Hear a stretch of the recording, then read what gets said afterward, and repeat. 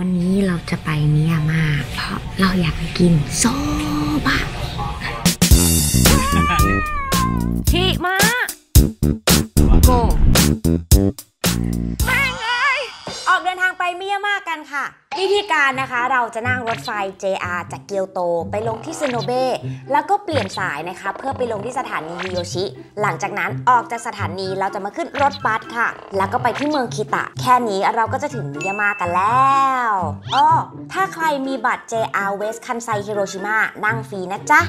หลังจากนั้นเราก็จะนั่งชมวิวข้ามทางไปเรื่อย ๆ แบบนี้แป๊บเดียวก็ถึงค่ะ เฮ้ย เฮ้ย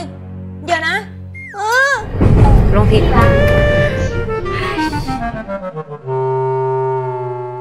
พังมาก คือเมื่อกี้เราถึงสถานีที่เราต้องลงแล้ว แต่ว่าตอนอ่านสถานีอะเขาบอกว่า next ถึงจะเป็นชื่อสถานีที่เราต้องลง เราก็เลยไม่ลง แล้วพอไม่ลงเสร็จปุ๊บอะสรุปแล้วมันคือสถานีนั้นเว้ยมากเลย เรียกพังในพังคือลงผิดสถานีเดียวชีวิตมันเปลี่ยนอะคือถ้าแพลนเนี่ยเดินกลับเนี่ยต้องใช้เวลา 30 นาที แต่ถ้าจะนั่งรถย้อนไปเนี่ยมันต้องรอรถไฟอีกชั่วโมงหนึ่งคือไม่ว่าทางไหนอะแพลก็ตกรถบัสแน่นอนอยู่แล้วอะอทำไงอะงั้นเอางี้ โบกรถ ฉันจะลองโบกรถดู มันจะได้ไหม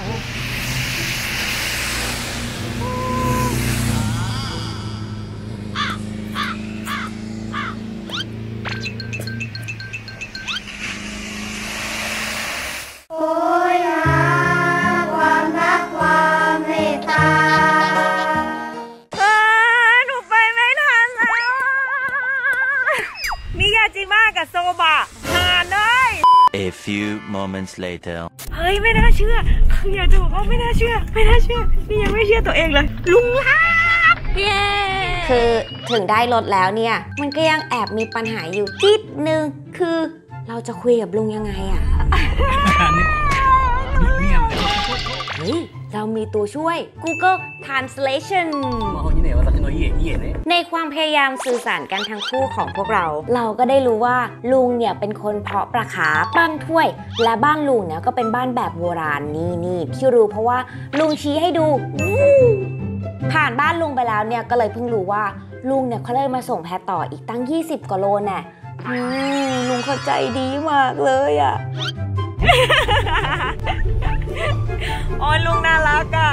ก่อนจากกันเราก็เลยวาดภาพให้ลุงเป็นที่ระลึก นี่ลุงชอบด้วยดีใจเราวาดรูปให้คุณลุงคุณลุงชอบมากนาโตนาคุชเลยนะไนซิเมเยเฮ้ยนาโตนาโต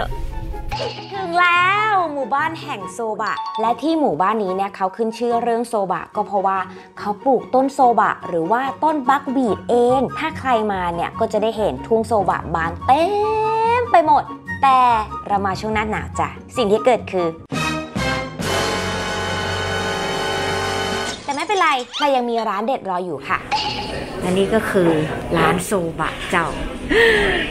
มาร้านโซบะทั้งที มันก็ต้องบุกให้ถึงครัวว้าวงานดีหมายถึงกระบวนการการทำค่ะ ไม่ธรรมดาแน่นอนหืม ดูสิ นอกจากครัวเนี่ย ยังสะอาดสะอ้านทำโซบะออกมาได้น่ากินขนาดนี้ อะ ไปชิมกันเลยดีกว่าแตตากิมา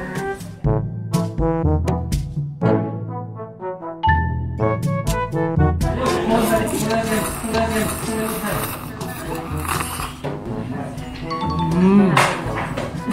ดีอะ คือปกติเราจะไม่ชอบกินโซบะด้วยเพราะว่าเส้นมันจะเละแต่ของที่เนี่ยเส้นเหนียวนุ่มในซุปมันจะมีไก่แบบนี้ด้วยแล้วว่าเขาใช้ไก่บ้านแน่เลยเพราะว่าไก่มันจะเหนียวมาก กินอิ่มแล้วก่อนกลับเราแวะเดินเล่นในหมู่บ้านกันดีกว่าค่ะ คือไฮไลท์ของมิยาม่าเนี่ยนอกจากโซบะแล้ว ก็เป็นความน่ารักของตัวหมู่บ้านนี่แหละ หมู่บ้านนี้เขาจะมีไม่กี่หลังคาเรือน และก็จะมีบ้านทรงน่ารักเป็นบ้านโบราณแบบนี้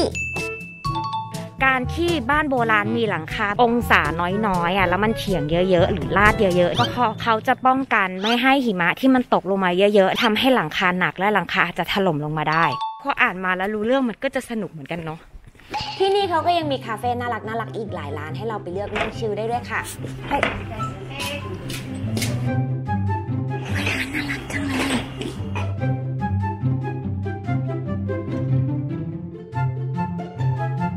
ที่นี่เขาจะขึ้นชื่อเรื่องของดังโงะกับไดฟุกุ ซึ่งไดฟุกุหมด ดังโงะหมด เราก็เลยเลือกเจ้านี่แทน Coffee Jelly เขาจะเอากาแฟเนี่ย เอามาทำเป็นเยลลี่ แล้วก็ท็อปปิ้งด้วยไอศครีมจากนิยาม่าเริ่มจากเยลลี่ก่อน อืม อร่อยจัง นี่คือไอศครีมทั้งหมดที่มีในถ้วยหนึ่งคำท้วน